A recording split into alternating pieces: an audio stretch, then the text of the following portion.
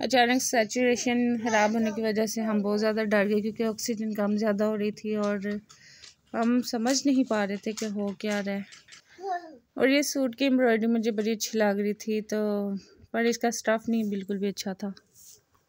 दुनिया की सख्त तरीन सज़ा यह है कि अल्लाह ताला तुम्हारी ज़ुबान को अपने ज़िक्र से रोक ले सो ज़िक्र रोज़गार लाजमी अपनी डेली रूटीन का एक हिस्सा बनाए। तमाम तरीफ़े अल्लाह के लिए हैं, जिसकी इसमत के सामने हर चीज़ झुकी हुई है, और तमाम तरीफ़े अल्लाह के लिए हैं, जिसकी इज़्ज़त के सामने हर चीज़ जलील है। और तमाम तरीफ़े अल्लाह के लिए हैं, जिसकी सल्तनत के सामने हर चीज़ आजिज़ है। बिसमीम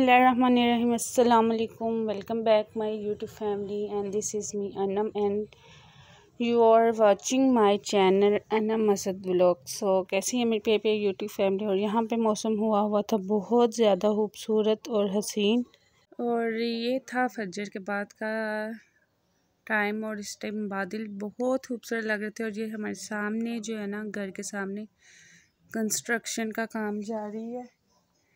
तो आसमान की तरफ़ देखे कितना खूबसूरत सीन है। और आज मैंने मशीन लगाई और साथ साथ साथ साथ ड्रेस वॉश किया और मैं ड्रेस बाहर डाल रही थी साथ साथ आप लोगों को मैं अपनी यूट्यूब फैमिली को अपने आसमान का सीन दिखाऊँ कितने खूबसूरत बादल लग रहे हैं। बहुत ही खूबसूरत ये सीन लग रहा था, था। मैंने सोचा क्यों ना इस नेचर ऑफ़ ब्यूटी को कैप्चर कर लिया जाए और फिर मैंने इसको कैप्चर कर लिया। खैर, आज हुई हुई थी मोहम्मद ईसा की तबीयत बहुत ज़्यादा ख़राब तो इधर हम उसकी सेचुरेशन चेक कर रहे थे क्योंकि उसकी ऑक्सीजन की कमी की वजह से कभी कम हो रही थी, कभी ज़्यादा हो रही थी और बहुत ज़्यादा वो रो रहा था। उसकी वजह से उसको फिर हमें हॉस्पिटल लेके जाना पड़ा। तो मुसलसल हम चेक करते क्योंकि डॉक्टर को चेक करानी होती है तो इसलिए हम सेचुरेशन उसकी चेक करते ही रहते हैं, जो कम ज़्यादा होती रहे। कभी नाइन्टी टू आती थी, फिर कभी कम चली जाती थी। और ये नाइन्टी थ्री पे आके फिर भी माशाल्लाह बेहतर हो गई थी, लेकिन एटी थ्री एटी टू पर जब आती थी तो वो ज़रा रोने लग जाता था, क्योंकि उसकी तबीयत ख़राब, सांस उखड़, उखड़ने लग जाता था।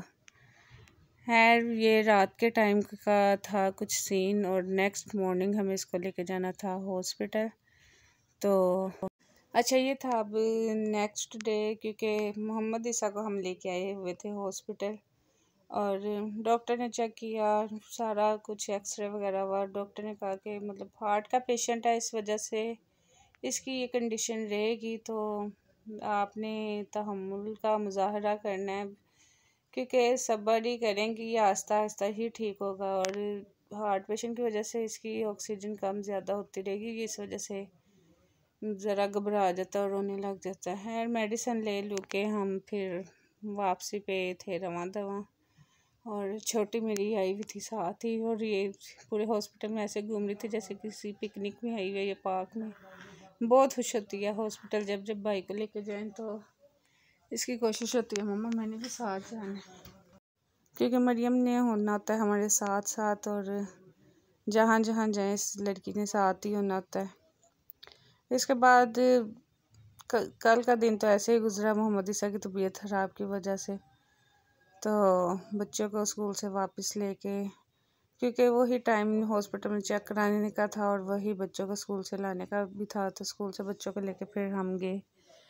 शॉपिंग पे, शॉप, क्योंकि बच्चों की साथ साथ ईद की तैयारी भी करनी है तो रास्ते में शॉप्स वगैरह खुल चुकी थी तो हमने कहा चलो शॉपिंग करते जाते हैं, कुछ ड्रेस वगैरह देखें। और बच्चों की ग्लासेस वगैरह लेनी थी वॉच वगैरह लेनी थी।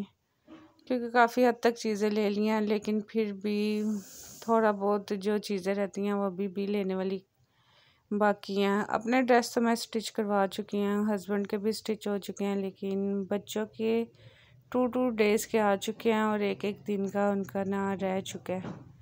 मोहम्मद ईसा का भी एक रहता था, वो अब लेके आना, वो अभी भी नहीं मिला। लेकिन मैं चेक कर रही थी। ये एम्ब्रॉयडरी वाले सारे लोन के ड्रेस लगे हुए थे।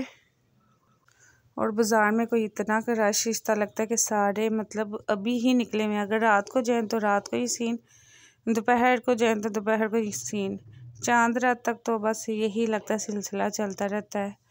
रोज़ा रख के भी लोग निकलते हैं, अफ्तार करने के बाद भी निकलते हैं। तो यहाँ पे मैं देख रही थी, ये हमारे पास ही लोकल मार्केट है, उधर से ही मैं ये कपड़े सारे देख रही थी। और ये मुझे बहुत खूबसूरत कुर्ता लगा था। इस पर एम्ब्रॉयडरी हुई हुई थी और ऊपर ना गले पे तारे वगैरह लगे हुए थे। तो ये मुझे बहुत पसंद आया। ये उमैमा के साइज़ का देख रही थी नौ दस साल की बच्ची के। मैं उन्हें कह रही थी, दिखाएँ तो।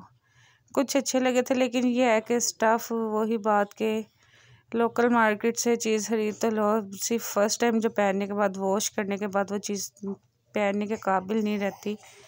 और ये चीज़ मुझे फिर बहुत बोदर करती है कि इससे बेहतर बंदा थोड़े से और पैसे लगा के थोड़ी स्टफ़ अच्छा ले ले के जो थोड़ा देर बच्चा पहने भी। खैर, इधर आ गए थे हम ये बैग वाली साइड पे क्योंकि ईद पे बच्चे और बैग ना ले, ऐसा हो नहीं सकता। बैग के बगैर बच्चों की ईद नहीं होती।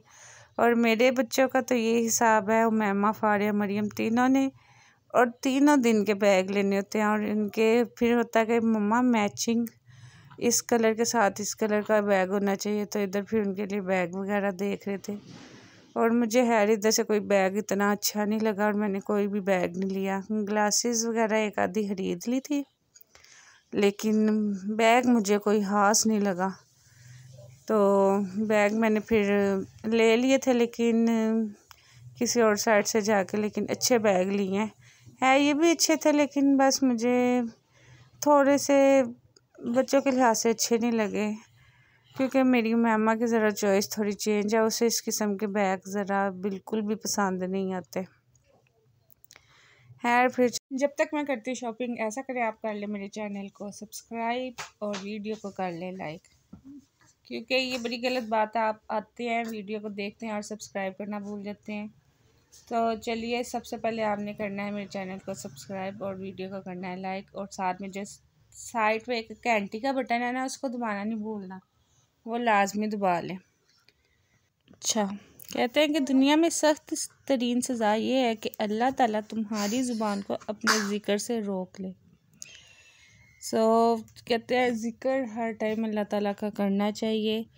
एक मैं बड़ा आसान और तीन मिनट वाला ज़िक्र बताने लगी हूँ तो उम्मीद है मेरी यूट्यूब फैमिली ज़रूर ये पढ़ेगी और स्वाब हासिल करेगी और सदका जारिया समझ के आगे शेयर करेगी।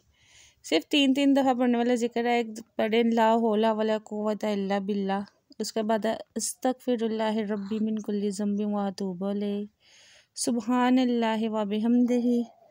हसबुल्ला व नमल वकील और सुबहान अल्लाह ये अगर आप तीन तीन दफ़ा भी करें इस ज़िक्र से आपकी ज़ुबान तर रहेगी और आपको स्वाब मिलेगा और सदका जारी समझ के आगे भी शेयर करें और हर टाइम अल्लाह ताला के ज़िक्र उसकार करते रहें। बस यही थी मेरी आज तक की वीडियो। तो वीडियो अच्छी लगी हो तो लाइक कर दें, चैनल को कर दें सब्सक्राइब और मज़ीद अच्छे अच्छे और डेली के न्यू व्लॉग देखने के लिए मेरी वीडियो का करें इंतज़ार और अब मिलती हूँ मैं नेक्स्ट वीडियो में। तब तक दें मुझे इजाज़त। से अल्लाह हाफिज़ and don't forget subscribe my channel.